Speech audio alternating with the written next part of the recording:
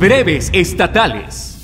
Durante 2015, el Producto Interno Bruto del Estado de Puebla creció 2.2%, cifra que se ubica por debajo del promedio nacional en crecimiento anual, que fue de 2.5%, reveló el Instituto Nacional de Estadística y Geografía INEGI al hacer público este indicador. Tres enfrentamientos armados ocurridos en el municipio de Jesús Carranza dejaron 20 personas muertas. El decomiso de 66.6 kilogramos de cocaína y 28 armas de fuego de uso exclusivo del ejército, informó el gobernador de Veracruz, Miguel Ángel Yunes Linares. Y finalmente los hermanos José Andrés y Alfonso Olán y Rosario Gramajo, tres policías pertenecientes a la Secretaría de Seguridad Pública del municipio de Teapa, Tabasco, fueron asesinados e incinerados este martes. Para el punto crítico, Miguel Muñoz.